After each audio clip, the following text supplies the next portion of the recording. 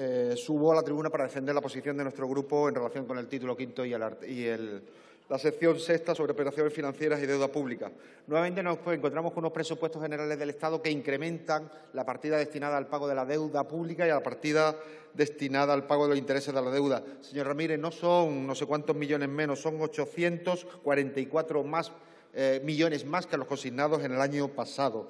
Y la situación de la deuda pública en estos momentos en este país es una situación grave que requiere una serie de consideraciones. En primer lugar, por la carga que traslada hacia las generaciones venideras y donde el papel del Partido Popular, siempre apelando a la herencia recibida, pero sin asumir la responsabilidad por lo que llevan haciendo desde, hace, desde el año 2011 en esta materia, pues es eh, creo que hay que ponerla en evidencia. Desde el año 2011, la deuda pública en este país en, relación con el Producto Interior Bruto ha subido casi un tercio, desde el 70% en el año 2011 hasta el 98,7% en el momento actual. Eso significa, en términos absolutos, más de 250.000 millones de deuda en estos años. En segundo lugar, el impacto de esa deuda nos lleva a unos niveles insostenibles que si los bajamos a la población española y a qué supone eso en términos per cápita, nos permite hacernos una idea realmente clara de qué significa esta deuda. En estos momentos, cada español o española debe 25.000 euros de esa deuda.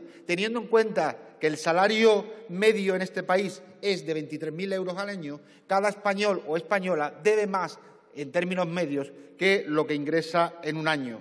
En tercer lugar, el reparto de la deuda entre las administraciones demuestra la eficacia o la ineficacia de las mismas. El año pasado, la deuda pública del Estado, que se incrementó a un ritmo del 5%, en estos momentos acumula ya más de un billón de euros, mientras que las de las administraciones autonómicas solo, solo entre comillas, es de 290.000 millones de euros y la de las corporaciones locales es de 30.000 millones de euros. Administran mal desde la Administración central y cargan con sus costes a todo el resto del Estado. Y esta situación no es algo que me preocupe a mí o a nuestro grupo parlamentario. El último informe sobre sostenibilidad de las cuentas públicas de la Comisión Europea decía varias cosas muy reveladoras. La primera, que el endeudamiento público en este país empieza a ser un problema crónico, es decir, no coyuntural, no que va a desaparecer en el corto plazo, sino que se instala como una enfermedad. En segundo lugar, que dentro de una década o que a lo largo de la próxima década, hasta 2028, vamos a tener una deuda pública por encima del 95% que la carga, además, que la carga fiscal de la deuda pública se va a mantener por encima del 3% del Producto Interior Bruto, es decir, más de 30.000 millones todos los años destinados al pago de la carga de la deuda.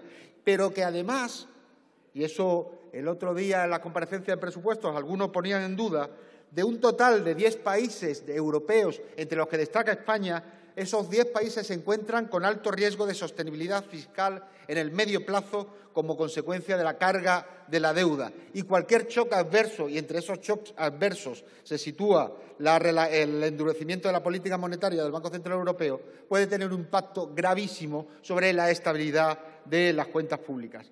¿Qué se hace para tratar de enfrentar esa situación? Pues no se les ha ocurrido otra cosa que pactar una rebaja fiscal con el Partido de Ciudadanos. Primero, con, consecuencias de distinta naturaleza. Primero, porque debilitan los ingresos públicos y provocan que, a continuación, haya que realizar recortes o consolidar recortes para poder cuadrar el presupuesto. En segundo lugar, un presupuesto que, al parecer, nos va a sacar del procedimiento de déficit excesivo, pero que todos, y ahí hay absoluta unanimidad, todos los centros de estudio de este país e incluso la propia Comisión Europea han planteado que esos presupuestos no se van a cumplir y que, por lo tanto, vamos a seguir permaneciendo dentro del margen del procedimiento de déficit, excesivos. No se apunten la cabeza del oso antes de, cazarla.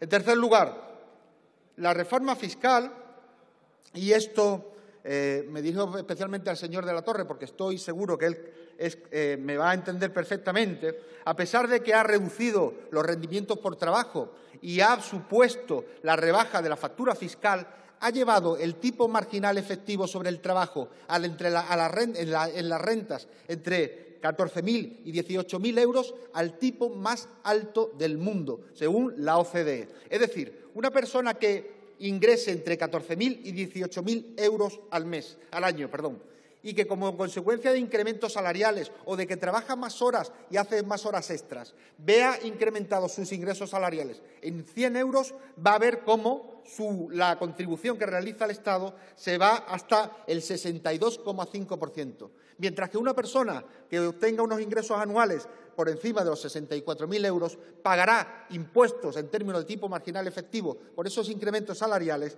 del de, eh, 45%. Así entienden ustedes la progresividad fiscal, la hacienda pública y la cultura del esfuerzo.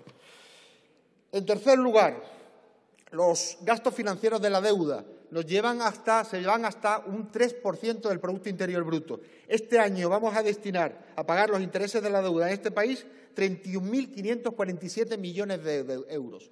Dicho así, podría parecer mucho, pero si se pone en relación con otras variables, pues expresa mucho mejor la carga que eso supone para este país se va a pagar más en términos de deuda, de intereses de la deuda pública que todo el gasto del personal de la Administración General del Estado consignado en los presupuestos generales del Estado, que asciende hasta 22.519 millones de euros. Es decir, pagamos más en intereses de la deuda pública que en la carga de la remuneración de, los funcionarios de la Administración del Estado. Eso es, esa carga es la que realmente asfixia a nuestro país y a la dinámica de crecimiento de nuestra economía y no la carga de la remuneración de los funcionarios. ¿Y todo ello por qué? Porque se empeñan en una política fiscal errónea en la que anteponen determinados eh, variables que son simplemente variables orientativas, como es el déficit, y, se y no se preocupan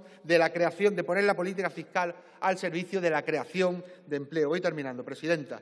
Para tratar de mm, incorporar un poco de lógica alternativa a la política fiscal en esta Cámara, hemos presentado una propuesta alternativa centrada de presupuesto, centrada esencialmente en la lógica de ingresar más para gastar mejor y que implica una reforma fiscal progresiva que garantice la suficiencia fiscal del Estado, que permita corregir el déficit social que llevamos acumulado y que transforme el, el modelo de crecimiento de esta economía. Muchas gracias y buenas tardes. Muchas gracias, señor Montero Soler.